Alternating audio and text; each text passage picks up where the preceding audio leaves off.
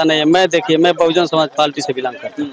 हम लोग छोड़ देंगे बहुजन समाज पार्टी को उनके साथ रहेंगे हमारा। किसके साथ रहेंगे? कौन भैया के साथ रहेंगे? अगर वो कहीं से भी चुनाव लड़ते हैं चाहे कोई भी आता के है। कार्यकर्ता हैं।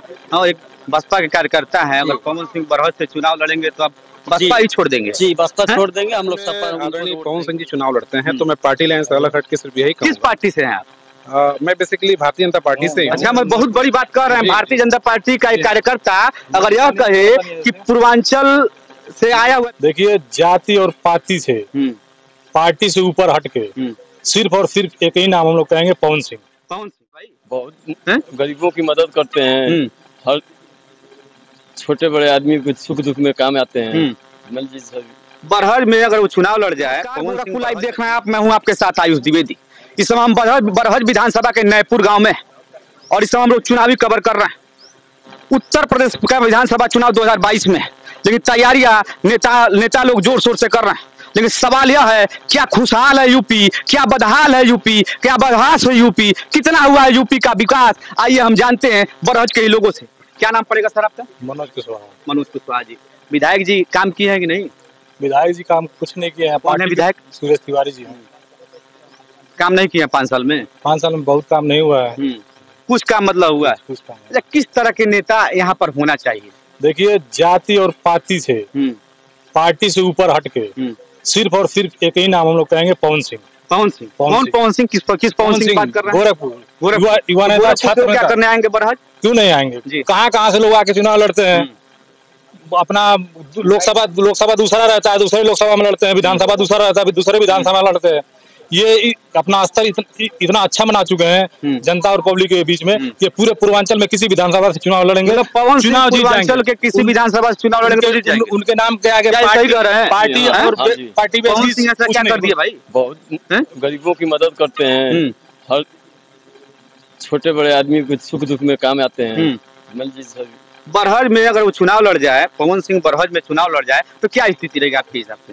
अगर बरहज में आदरणीय पवन सिंह जी चुनाव लड़ते हैं तो मैं पार्टी लाइन से अलग हट के सिर्फ़ यही किस पार्टी से हैं आप? अ, मैं बेसिकली भारतीय जनता पार्टी से अच्छा मैं बहुत बड़ी बात कर रहे हैं। भारतीय जनता पार्टी का एक कार्यकर्ता अगर यह कहे कि पूर्वांचल से आया हुआ व्यक्ति गोरखपुर से आया हुआ व्यक्ति पवन सिंह। बताइए। मैं सिर्फ़ ये कह रहा हूँ कि पवन सिंह निश्चित रूप से हम सभी नौजवानों के बीच में प्रेरणाप्रद हैं। हम्म। हम लोग उनको फॉलो करते हैं। हम्म। रही बात पार्टी लाइन से अलग हट के मैं यही कहूँगा हम्म। कि पवन सिंह जी का कद निरंतर बढ़ता जा रहा है। उनके द्वारा जो गरीबों की मदद की जा रही है वो निश्चित रूप से बहुत शानदार है और हम सभी उनकी भूरी भूरी प्रशंसा करते हैं। रही बात चुनाव लड़ने की तो पूरा का पूरा उनका विवेकाधिकार है हम्म। कि वो किस क्षेत्र से चुनाव लड़ते हैं। अगर बरहज से चुनाव लड़ते हैं तो एक भारतीय जनता पार्टी के कार्यकर्ता से मैं बात कर रहा हूँ। क्या दलगत भावना को छोड़कर पवन सिंह के साथ रहेंगे? अभी आने वाला समय बताएगा कि दलगत भावना से ऊपर उठने वाली बात होगी कि नहीं होगी।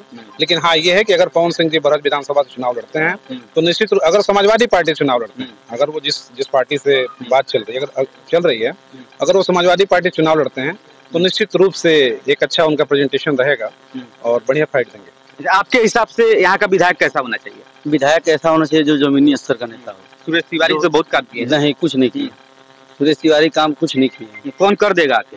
जो जमीनी स्तर का नेता हो कौन है जमीनी स्तर का नेता जो भी आए नया जो जमीनी जैसे पवन भैया हैं हम्म। देख लिया अगर इस समय देखा जाए तो पवन भैया भी बढ़िया आदमी है हम्म। और गरीबों लोग की सहायता करते हैं हम्म।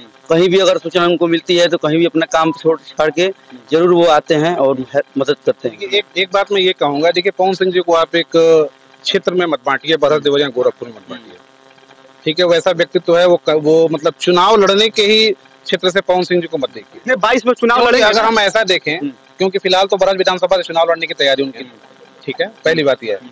और दूसरी बात यह है कि अगर उन्होंने कहा है पूर्वांचल के किसी सीट पर जैसे उनके मैं एक बात बताऊँ वो जो भी मदद करते हैं हम्म। वो क्षेत्र जाति धर्म भाषा को छोड़ करके मदद करते हैं। नहीं तो अगर उनके अंदर ये बात होती कि हमको ब्रज विधानसभा से ही चुनाव लड़ना है तो सारा ध्यान वो ब्रज विधानसभा पे पे ही लगाते हैं।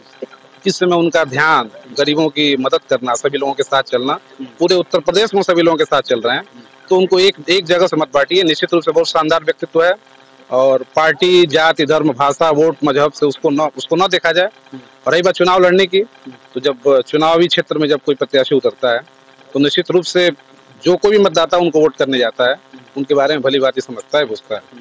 और कई बार ऐसा होता है कि व्यक्ति पार्टी लाइन से ऊपर उठ करके भी मतदान करता है। मतदान करता है। जी।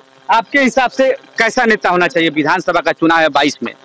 कैसा नेता होना चाहिए? किस तरीके? कौन कौन भैया जैसा होना चाहिए? जब पवन सिंह क्या कर दिया ऐसा कि अरे बहुत कर दिए। गरीबों में आप दान कर रहे हैं बहुत कर दिए हम्म, मतलब अगर वो चुनाव लड़ेंगे तो जीत जाएँगे। हाँ बिल्कुल हमारे यहाँ के विधायक। विधानसभा के विधायक जी आप बताइए।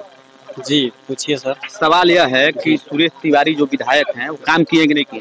सर आपको बता दें अभी दो तीन दिन पहले आए थे सुरेश तिवारी यहाँ। हम्म। अठारह हज़ार की मदद करके गए हम्म, तो बहुत अच्छी मदद और वही जी और वही कौन भी आए हैं एक लाख रुपए की मदद की है। हम्म, उन्होंने दो बार विधायक एक बार ये हाँ बीएसपी से रह चुके हैं रुद्रपुर विधानसभा से और दूसरी बार बीजेपी से रह चुके हैं। ठीक है?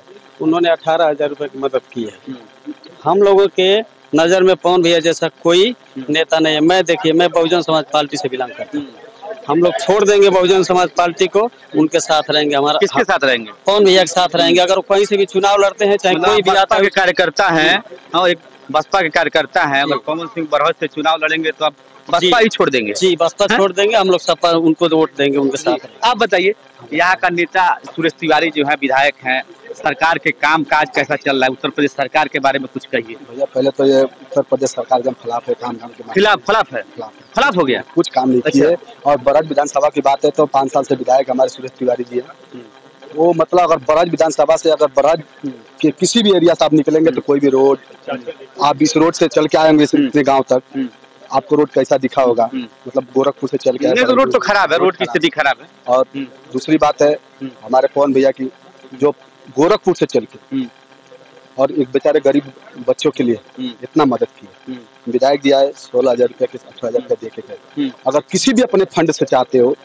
तो बेचारों के मतलब बच्ची के नाम से दुनिया भर का घर भी बन जाता है उनका मतलब जीवन कैसे भी करके बीत जाता है। किसी भी स्कूल से नाम लिखा देते कहीं भी पढ़वा देते लेकिन मतलब आए और इस गाँव के लोगों के सामने इतने लोग के बीच में आए और मात्र सोलह हज़ार रुपया का दान करते गए वो बच्चे इतने छोटे छोटे बच्चे और कौन दिया गोरखपुर से चल के आगे आप किस पार्टी को वोट करते हैं हम तो पार्टी देखिए मतलब नेता देख के हैं। व्यक्ति को देख करते हैं, लेकिन मैं जात का यादव हूँ लेकिन हूँ समझवादी समझवादी लेकिन हम अपने क्षेत्र में जो जिस प्रकार के लोग आते हैं। नहीं आपने कहा जाति के यादव है और हम समाजवादी पार्टी को करते हाँ हैं। करते हैं। लेकिन हमने निर्दल को भी वोट दिया हूँ। दिए दिए। इसी बराज विधानसभा तो से यादव नहीं होगा वो? इसी विधानसभा से दुर्गा बाबा को वोट दिया हूँ। अच्छा दुर्गा मिश्रा। दुर्गा मिश्रा को दिया हूँ। ठीक ना? कमलेश पासवान को भी वोट दिया हूँ। हम्म, जब 2014 की लहर थी तो मैंने मोदी जी को वोट दिया था। हम्म। तो अब लहर समाप्त हो गया है क्या? लहर खत्म हो गया लहर किसका किसका समाप्त हुआ है? हमारे विधानसभा से तो बीजेपी की लहर खत्म? खत्म। कौन दूसरे नंबर पे? छापा ही होगा और कुछ हो नहीं ये आ जाएँगे तो क्या फिर क्या होगा? कौन भी आएँगे तो बहुत बढ़िया बात हम लोग के लिए हम्म, कौन भी आएँगे तो बहुत बढ़िया। फ़ोन भी आएँगे जितना हम लोग का मदद होगा जितना करना होगा करेंगे। हम्म, क्योंकि आगे पीछे दौड़ेंगे जाएँगे आएँगे जो हमारे लोगों लोगों में जाके कहेंगे हम्म, कि कौन भैया हमारे लिए इतने काम किए और इतना दूर से चल के आए सबसे बड़ी बात है। हम्म। और हमारे तो आसपास के बहुत भी विधायक चुनाव लड़ने वाले हैं। बीजेपी से भी हैं सपा से भी हैं बहुजन से भी है। लेकिन किसी ने यहाँ पे चल के बच्चों के लिए मदद करने के लिए नहीं आया।